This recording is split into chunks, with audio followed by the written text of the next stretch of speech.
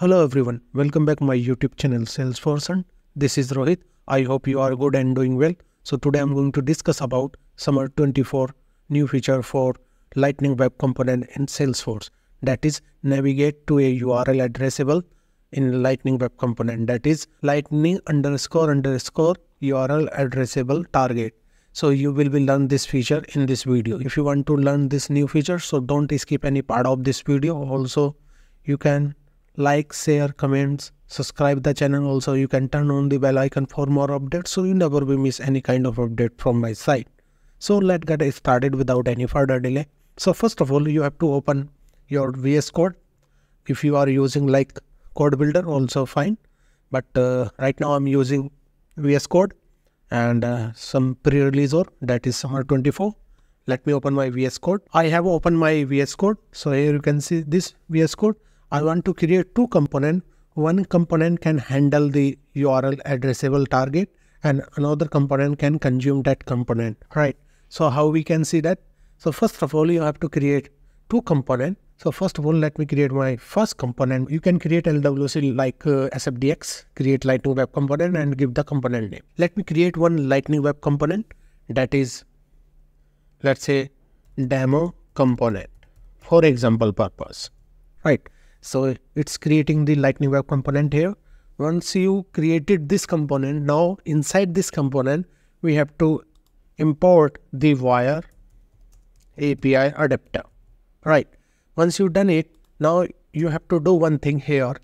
First of all, let me use current page reference. So we can give here that is import statement and here we can save this here.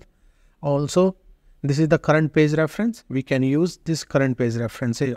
Lightning navigation current page reference, right? You can import it and you can create it. So after that here, current page reference and we can rename this one that is current uh, current page right ref for example purpose right so this is the simple one right so this is the wire property you can use anywhere as you want after that, you have to do one thing here. After that, you have to create, let's say API decorator and this is the property value. Let's say property value. And this is not initialize anything value here. And after that, you can get this uh, get property value like property value and after that return this this dot current page reference ref dot state dot c underscore underscore and then property value. You can give anything as you want from here, but for now I am giving this one. After that, once you've done it, now you can close it. Let me try to save this. Let me try to save this one. And once you save this, now our component successfully deployed here. You can see successfully deployed. If you see somewhere like a property value is duplicate, you can change it, otherwise leave it as it. This is the some warning. Okay, don't worry. So this is the JS file. So first of all, you have to create your JS file like that. After that, you can create, you know, HTML for this one or anything as you have. For first of all, we have to create the XML. Just you have to modify it. So let me open the this demo component XML. So this is the XML file under this demo component XML, you can make it like expose is true. And the target you can use anything as you want here but first of all you have to use very most important that is here target. And under this target here we have to use new target that url url addressable. So this one so you have to use this URL addressable.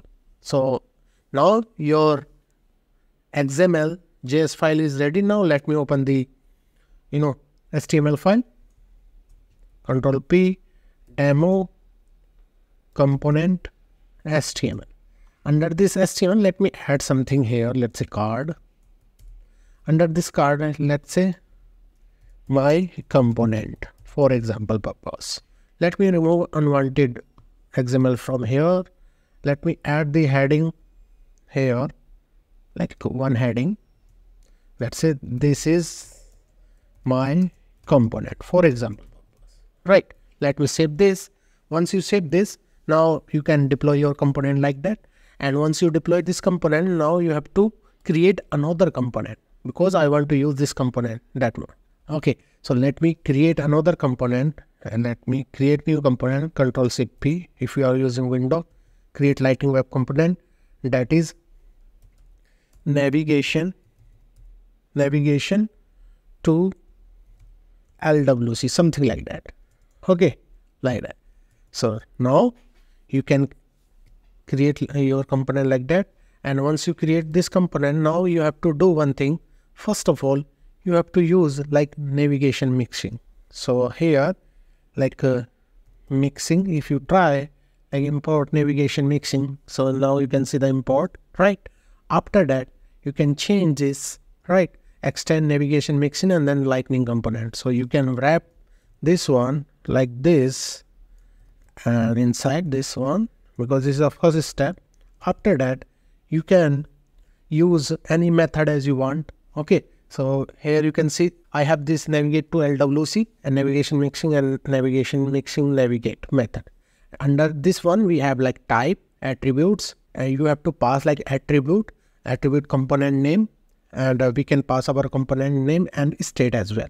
So now under the attribute we have to change that is component name right. So we have to use a component component name colon and then our component name. So in my case, my component is C underscore underscore demo component. So based on your namespace, you can add like underscore underscore C. This is the default one.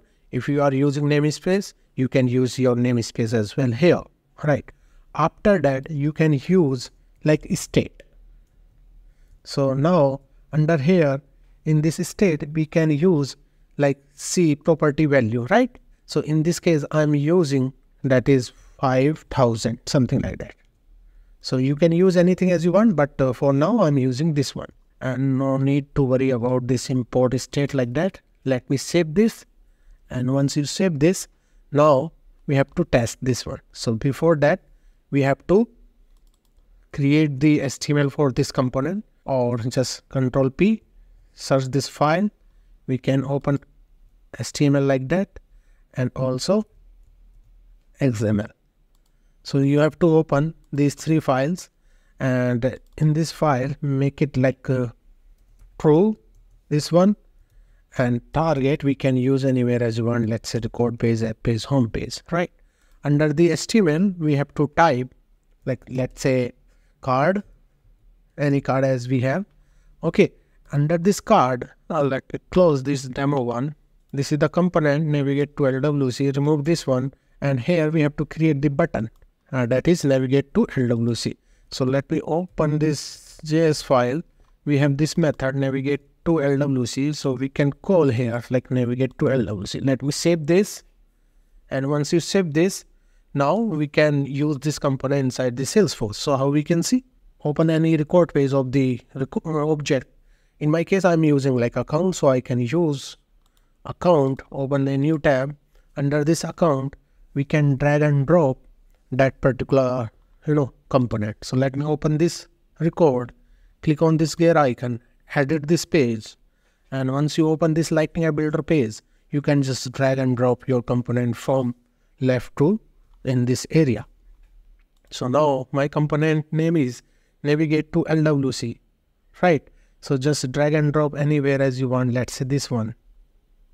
Now let me save this and once you save this just go back here. And now you will be see our component inside our record page like navigate to LWC. So I made some mistake. That is standard web page. Is not a web page. We have like a standard component. So we have to use this one. Let me save this. And once you save this now you can try this one. So let me refresh this record. And once you refresh it now you can just click on this navigate to LWC and now immediately you can see this is a URL you can see lightning slash cmp slash c underscore underscore demo component question mark c underscore underscore property equal to 500 and this is another component. So previously it was a problem like uh, if you want to navigate uh, to the LWC, so we have to use like Aura or any kind of application as we have. But in this release, no need worry about like Aura or any other things. So you can directly use this new new target inside your component and you can leverage this feature. I hope you learned something new in this video. If you feel like this is a very more informative for us, so please like, share, comments, also you can subscribe the channel. Also you can turn on the bell icon for more updates. Also please support me guys. So till then bye bye take care. See ya. Thank you for watching guys